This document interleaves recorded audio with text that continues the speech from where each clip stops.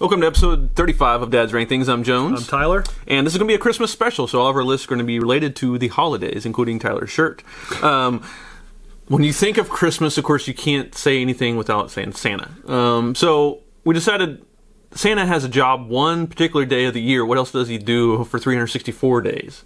And he has to do something for money, right? He can't just live high on the hog off of one day. Yeah, I mean, I mean- what's, what's his salary like? I mean, that's just being lazy too.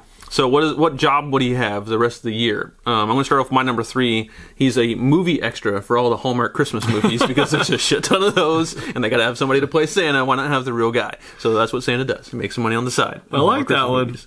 Every every Lifetime, Hallmark, now Netflix Yeah. holiday movie has at least one Christmas uh, mall Santa. Mm-hmm. It could be him. Or it could be the neighbor who looks like Santa, who actually is Santa. Ooh. Spoiler alert. Whoa, Um, whoa! You just wrote a script. Ooh, that's crazy. That's meta because it is Santa in the movie who's the real Santa, but actually it's the real life Santa too at the same time.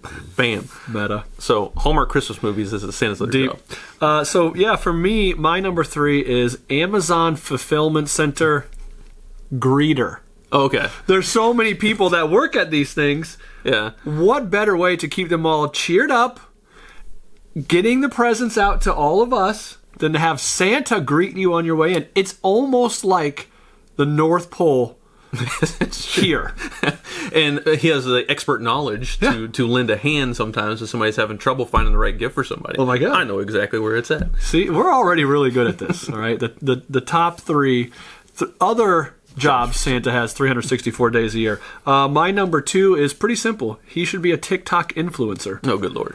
You know, he's he's he's been known to have some good uh, laughs and some good jolly Yeah. ho ho hos. He could probably get some good followers going on there. That's so. People make some. You know, you don't make a lot of money with being a TikTok influencer, so he's going to have to brand out. And he's going to have to reach out to a younger crowd somehow too, because of course the younger kids they don't Or write letters to to Santa anymore. look out to an older TikTok crowd? Yeah, it is aging. My kid's not on TikTok.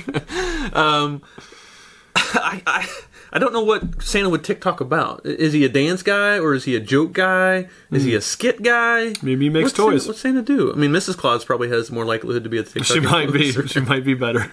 Uh, my number two is a reindeer fight club promoter. so he goes around looking for God, the he's like the reindeer. Michael Michael Vick of reindeer. Yeah, he's got to look for the toughest reindeer to put in his crew because you know Donner and Blitzen are getting old, and he's got to replace them sometimes. So let's go fight to the death and figure out which reindeer to put on the uh, the sled team next. I like it though. I like it. He's a he's like the Don King of reindeer. Which one of the reindeers do you think is the most badass, based on name, solely on name? Uh, Blitz. It's got to be Blitzen, right? Yeah, He's, it's he's gotta be bringing it. He's It's gotta be bringing it. I'm not picking Cupid. Uh, my number one is similar to your number three, though, but it's going to Walmart door greeter because every Walmart has that friendly old face as you walk in, and it gets you in the holiday spirit. They have something, you know, uh, nice to say about coming into the door. You're going to leave in a bad mood, but at least going in, you might be in a good mood. the, the difference is, it would just be Santa telling people to put their damn mask on. Santa's got a new job this year. It's not to greet people, but to enforce the rules. Santa wouldn't do that though. He's got people on the naughty list and the nice list, so he he probably You pretty just write it down. Go ahead. Yeah. you know, You're getting on, so cold. I'll show you. Uh, my number one job that Santa has, the 364 other days of the year, is vaccine trial patient. guys, guys, the dude is immortal. We should just try everything out on him. See, how he kills him? You see how, no, you know he'll react, of course. Just see what it does to his body. You know, maybe take some of his uh, antibodies and put them in some of the other stuff that we're giving out to people. It, could- it could work. He could true. a trial patient. Uh, especially with like weight loss drugs, because Santa's Oh, got a, could- a few extra pounds. So what, what would work for him? That. Yeah, you know, and just he, he could be in the placebo category. It's okay. True. Santa should donate his blood. That's how he should make his money. Actually, the plasma, Plasma. since he since he's immortal. See, that's that our plasma, that's man. our collective one.